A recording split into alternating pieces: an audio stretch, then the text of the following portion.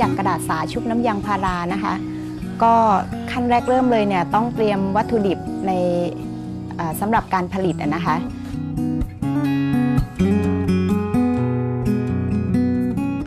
ก็ตัวหลักเลยก็จะเป็นกระดาษสานะคะ แล้วก็น้ำยางพาราก็น้ำยางก็จะมี 2 ชนิดนะคะ น้ำยางชนิดแรกก็คือ เป็นน้ำยางเกรด MR นะคะสำหรับชุบกลีบสีหรือว่ากลีบใบนะคะ แล้วก็น้ำยางอีกชนิดหนึ่งก็จะเป็นน้ำยาง CL สำหรับเข้าดอกหรือเข้าช่อของดอกไม้นะคะ สีย้อมผ้านะคะ อย่างของที่กลุ่มเนี่ยจะใช้สีย้อมผ้าไหมชนิดผงนะคะ เป็นสีเคมีกาว กาวก็จะมี 2 ตัวนะคะ เป็นกาวลาเท็กแล้วก็กาวใส ลวดดามนะคะ ลวดดามกลีบ ลวดดามใบ ลวดกิ่ง แล้วก็ลวดต้นนะคะ ซึ่งก็ทำมาจากลวดแล้วก็ปั่นด้วยกระดาษทิชชู่นะคะ ได้นะคะ paper tape วัตถุดิบเสร็จเรียบร้อยแล้วเนี่ยก็จะเข้ามาสู่ขบวนการของการผลิตนะคะ ขั้นตอนแรกก็คือนำกระดาษสาหน้าเรียบเนี่ยเป็นกระดาษสาเบอร์00นะคะหรือทางภาคเหนือเนี่ยจะเรียกว่ากระดาษสาเบอร์หนาพิเศษนะคะพอนำกระดาษสาเนี่ยมาซ้อนกันจำนวน 25 แผ่นนะคะ แล้วก็มัดขอบมุมด้วยลวดเพื่อที่จะให้กระดาษแต่ละแผ่นเนี่ยเสมอกัน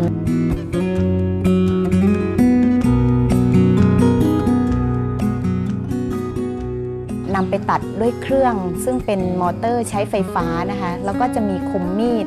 ซึ่งเรียกว่าบล็อกมีดคมตัดนี่นะคะ เมื่อตัดกรีบเรียบร้อยตามที่เราต้องการจะทำดอกไม้แต่ละชนิดนะคะเสร็จแล้วก็นำยางเนี่ยมารัด ให้ได้ปึกหนึ่งเนี่ยหนึ่งแผ่น เสร็จแล้วหลังจากนั้นก็นำไปแช่น้ำน้ำที่ใช้ก็เป็นน้ำประปาน้ำเปล่าทั่วไปเนี่ยค่ะใช้ได้ แช่น้ำเพื่อที่จะให้กระดาษเนี่ยอิ่มตัวจากน้ำข้อสังเกตก็คือถ้าตอนเราแช่ลงไปเนี่ยกระดาษจะลอยนะคะ อิ่มตัวก็คือกระดาษเนี่ยจะจมลงไปในน้ำหลังจากนั้นพวกเราก็จะเอามาบีบใช้ไม้ที่เหมือนกับใช้หนีบกล้วยนะคะแล้วก็หนีบหนีบลงไปให้น้ำเนี่ยออกให้มากที่สุดก็คือให้กระดาษเนี่ยดูหมาด แล้วก็นำมาย้อมสีนะคะ ใช้ผสมน้ำร้อนก่อนนะคะ พอผสมน้ำร้อนเนี่ยการแตกตัวของสีก็จะแตกตัวได้เยอะ หลังจากนั้นแล้วก็นำกระดาษที่ตัดเป็นรูปแบบเรียบร้อยแล้วก็มาย้อม วิธีย้อมก็คือย้อมด้านปลายของกลีบ ส่วนด้านโคนเนี่ยก็จะเป็นสีขาวครีมธรรมชาติของกระดาษสาอยู่แล้วค่ะ ค่ะเมื่อย้อมสีเสร็จแล้วเนี่ยถ้าสมัยก่อนก็ใช้ตากแดดนะคะ โดยคลี่ตากทีละแผ่น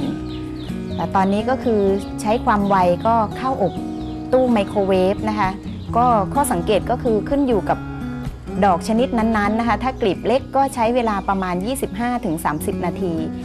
เมื่ออบแห้งเรียบร้อยแล้วเนี่ยหลังจากนั้นก็นำมาดามลวด ดามลวดเนี่ยก็ใช้กาวใสทาลงไปที่ลวดดามลงไปที่กลางกลีบนะคะดามลวดเรียบร้อยแล้วก็ผึ่งลมไว้ให้แห้งนะคะ ไม่ต้องตากแดดนะคะนำไป ชุบน้ำยาง วิธีจุ่มน้ำยางก็คือจุ่มได้ทีละกลีบเท่านั้นนะคะ จุ่มลงไปแล้วก็สลัดส่วนเกินเนี่ยน้ำยางส่วนเกินเนี่ยออกนะคะ เมื่อสลัดเรียบร้อยแล้วเนี่ยก็ปักผึ่งไว้บนแผ่นโฟมหนาๆนะคะ ไม่ต้องตากแดดนะคะ เนื่องจากยางพาราถ้าโดนแดดแล้วเนี่ยข้อเสียก็คือจะเหลืองนะคะ เวลาแห้งเนี่ยกลีบพวกนี้จะออกมาเป็นสีใสทั้งหมดเลย เราก็นำมาเช็ดแป้งกันความร้อนนะคะ เช็ดแป้งกันความร้อนเนี่ยก็คือไม่ให้กลีบ เวลาไปอัดกับเครื่องอัดความร้อนเนี่ยติดที่แม่พิมพ์นะคะ พอเช็ดแป้งเรียบร้อยก็เคาะแป้งส่วนเกินที่เกาะอยู่ตามคลีบที่เป็นคราบคราบๆเนี่ยออกไปนะคะ หลังจากนั้นก็ใช้เครื่องอัดความร้อนโดยที่ใช้แม่พิมพ์ เป็นบล็อกพิมพ์ทองเหลืองนะคะ ก็บล็อกพิมพ์ก็จะมีหลากหลายชนิดนะคะ อย่างของที่กลุ่มก็มีเป็นร้อยชนิดขึ้นอยู่กับเราจะทำดอกอะไร เราก็จะสร้างบล็อกพิมพ์นั้นๆขึ้นมา หลังจากนั้นก็ไปอัดความร้อนเพื่อที่จะให้เกิดลวดลายต่างๆ บนกลีบดอกแล้วก็กลีบใบนะคะ เมื่ออัดกลีบเรียบร้อยแล้วเนี่ยเราก็นำมาประกอบดอกโดยใช้ได้แล้วก็น้ำยาง CL ที่กล่าวไว้แล้วเบื้องต้นนะคะ มาเป็นวัตถุดิบในการทำนะคะ แล้วก็หลังจากนั้นเนี่ยก็นำเกสรเนี่ยเข้าเป็นแกนกลางนะคะ โดยประกบกับลวดต้นหรือลวดกิ่งขึ้นขึ้นอยู่กับเราจะทำช่อหรือทำดอกเดี่ยวนะคะ ถ้าทำดอกเดี่ยวอย่างอย่างทำดอกกุหลาบเนี่ยก็ใช้แกนในเนี่ยเป็นตูมสำลีซึ่งจะเป็นตัวที่เป็นแกนหลักให้ดอกกุหลาบเนี่ยดูตูมสวยขึ้นนะคะ ใช้สำลีเป็นแกนในหลังจากนั้นก็ใช้กลีบดอกกุหลาบที่เป็นไซส์ตูมเนี่ยเข้าประกบกับตูมสำลีแล้วก็ห่อใช้น้ำยาง CL เนี่ยนะคะห่อเป็นเป็นตัวที่ทำให้กลีบกับตูมเนี่ยประกบกัน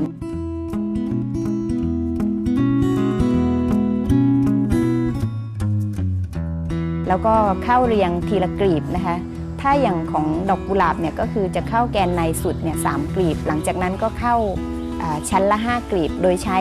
ทีละกลีบแล้วก็พันได้ไปเรื่อยๆนะคะ แต่ได้เนี่ยข้อสำคัญก็คือให้อยู่ในล็อกเดียวกัน เพราะว่าถ้าเราพันแล้วลงเป็นชั้นๆเนี่ยดอกก็จะออกมาไม่สวย เมื่อเข้าเรียบร้อยแล้วก็นำกลีบเลี้ยงนะคะ มาติดที่กลีบดอกชั้นนอกสุดนะคะ ใช้ paper tape มาพันก้าน โดยที่ทาน้ำยาง CL เนี่ยคะเป็นตัวกาวก็พันไล่ๆลงมาเฉลียงนิดนึงนะคะ หลังจากนั้นเนี่ยก็ใส่ใบ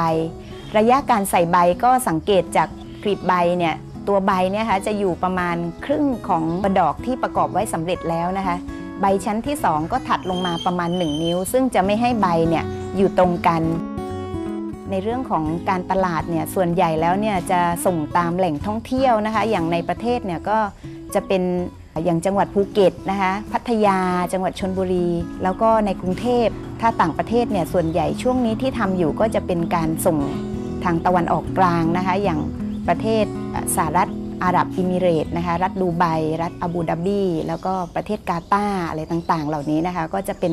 แหล่งตลาดของดอกไม้ประดิษฐ์จากกระดาษสาชุบน้ำยางพาราค่ะ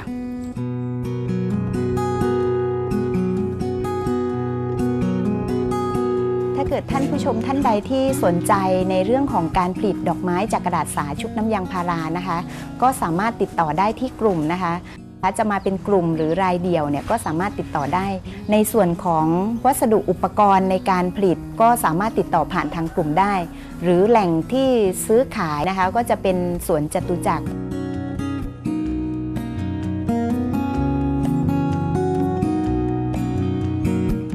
นะคะอย่างของทางกลุ่มเองเนี่ยก็เป็นผู้ผลิตและก็จำหน่ายเกสรดอกไม้ทุกชนิด สามารถสอนขั้นตอนการผลิตเนี่ยให้จน คนที่สนใจที่จะเรียนรู้เนี่ยทำเป็นทุกขั้นตอน